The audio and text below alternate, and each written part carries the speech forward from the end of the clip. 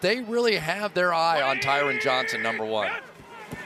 From the eight-yard line, it is a toss to Ameer Abdullah. Speed to the edge. And the season's first touchdown.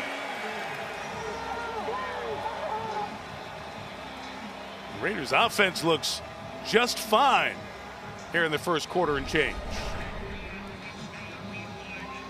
Really complete loss of contain here on the part of the Jaguars because they had a wide receiver on the outside of him, and once he cracks down, and Ameer Abdullah gave it the spin kick and the straight kick, and you'll see there's just nothing out there at the end of this thing.